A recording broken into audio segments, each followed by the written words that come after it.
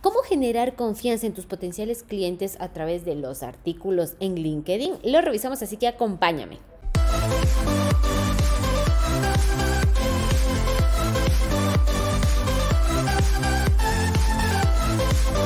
Negocios en digital 758. Hola, hola, ¿qué tal? Nuevamente bienvenidos al podcast, al programa de negocios en digital. Ya saben, el podcast en el que nos apasiona hablar de negocios y de los negocios que tienen buena presencia a nivel digital, que se abren camino a través de todos los las líneas, los canales digitales, que hay muchísimos hoy por hoy y que te facilitan realmente la vida. Así que, bueno, pues desde acá, una servidora, Katia Man, ya saben que me encanta el tema de marketing digital, negocios y todo. Bueno, hoy estamos un miércoles más, miércoles 18 de agosto del 2021. Vamos a hablar justamente eh, una de las tantos de los tantos mecanismos que tenemos para generar contenido, inbound marketing, marketing de contenido, para justamente hacernos eh, referentes, para buscarnos una reputación digital de manera coherente, es hacerlo en los artículos de LinkedIn. Y esto, bueno, sí o sí, si es que eres una empresa B2B, lo deberías hacer. Esto lo vamos a revisar, pero claro, no sin antes invitarles a que, pues dentro de mm, cateman.com slash mentorías van a ver eh, más información para todos aquellos, ojo, profesionales y empresas que quieran implementar estrategias B2B a través de pues manejar una buena estrategia dentro de LinkedIn y esto junto con nuestra mentoría, nuestro acompañamiento para poder eh, ayudarles a que ustedes puedan dentro de sus negocios implementar estrategias que ayuden a esa generación, digamos, eh, a ese incremento de leads de manera constante, ¿sí? Es una estrategia maravillosa, 100% comprobada que se consigue a través del el tiempo. Esto no es tampoco es una estrategia a corto plazo. Pero bueno, que vamos a entrar en materia, porque nos encanta el tema de B2B, nos encantan los negocios y nos encanta que eh, podamos ser referentes en lo que somos buenos, seamos referentes, porque de hecho el inbound marketing me encanta tanto porque digamos que va con esta filosofía del dar, somos dadores, ¿no es cierto? Y vamos a dar qué contenido, vamos a dar mecanismos para ayudar, para este alfabetizar, porque no, para empoderar a nuestros potenciales clientes, poniéndonos en sus zapatos y dándoles, digamos, nuestro conocimiento para que ellos justamente nos perciban como expertos en el sector. Bueno, entramos en materia. ¿Cómo escribir ya un artículo dentro de LinkedIn? Bueno, eh, tenemos eh, la, eh, digamos, LinkedIn tiene esta herramienta que se llama Pulse, ¿sí? Que es propia para generar artículos, pero es tan fácil como cuando tú vas a tu feed y quieres crear una nueva publicación, en la parte de abajo te sale como, em, te sale escribir artículo y ahí tú tienes, y te pregunta si tú tienes, si quieres hacerlo o dentro desde tu perfil te sale como perfil profesional o como la página de empresa que de pronto tú administras o otras páginas de empresa te, te permite escoger. Tú escoges y automáticamente pues se te abre digamos que un un espacio como un blog donde tú puedes, y ojo, aquí vamos a revisar, digamos, eh, todos los, los checklists o los... Em, los puntos a relevar, que son ocho, los puntos que tú deberías tomar en cuenta para que ese artículo sea completo. Primero, fotografía de la portada. ¿Sí? Luego titulares, tres imágenes, cuatro presentaciones, cinco llamadas a la acción, seis videos y siete citas. Son, que digo, ocho eh, para finalizar sobre el autor, datos sobre el autor.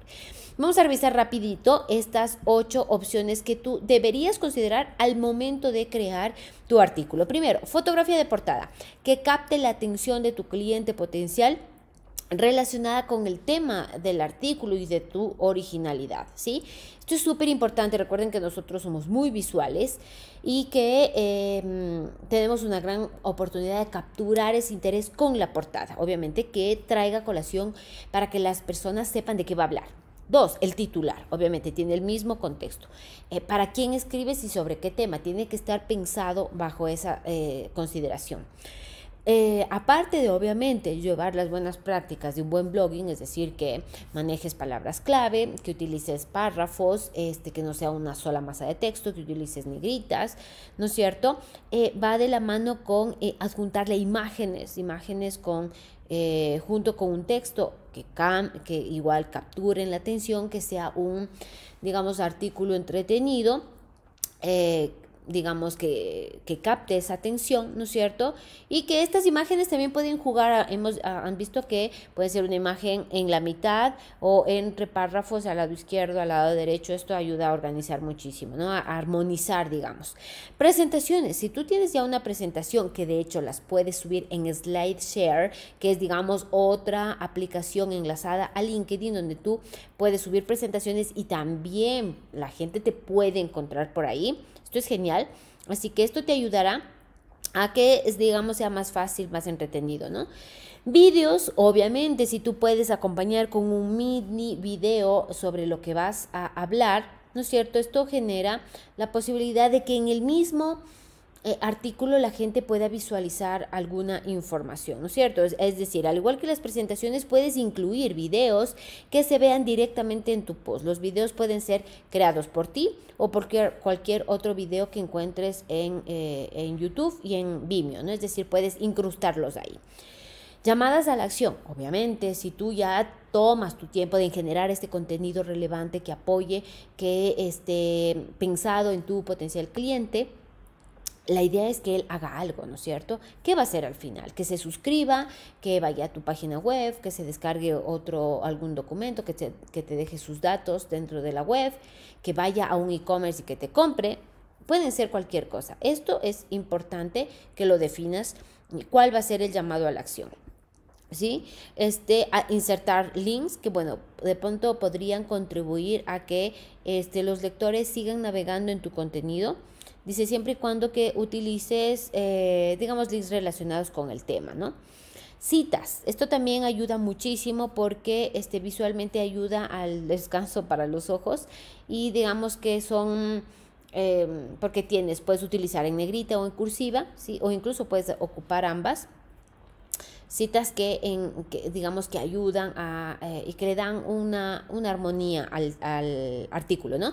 Y al final el sobre mí sí será relevante también que tú complementes este mm, artículo con que quién escribió el artículo, quién está detrás, ¿no es cierto? Esta es una oportunidad para que te des a conocer y para que la gente te conozca, te conozca mucho más. Así que pues bueno, em, les dejo también las notas del programa un episodio que habíamos hablado sobre cómo incrementar la visibilidad con los comentarios en LinkedIn, que va muy de la mano en implementar estrategias dentro de LinkedIn para generar negocios B2B. Así que bueno, con esto me despido, espero que haya sido de su agrado. Mil, mil gracias por escuchar el podcast en las diferentes plataformas, Spotify, Google Podcast, iVoox, iTunes, en el formato de video en YouTube, por estar ahí presentes. Mil, mil gracias. Espero que este contenido sea de alto valor. Si saben de alguien que le va a servir esto, compártalo, es gratuito. Y si es que... Eh, hacen un artículo dentro de LinkedIn, me encantará que me este, compartan, que me etiqueten para revisar esos artículos. Se les quiere, un fuerte abrazo. Nos vemos y nos escuchamos, no se lo pueden perder.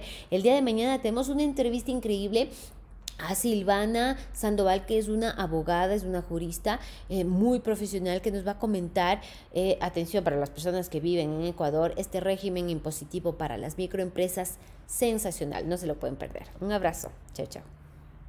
なななな。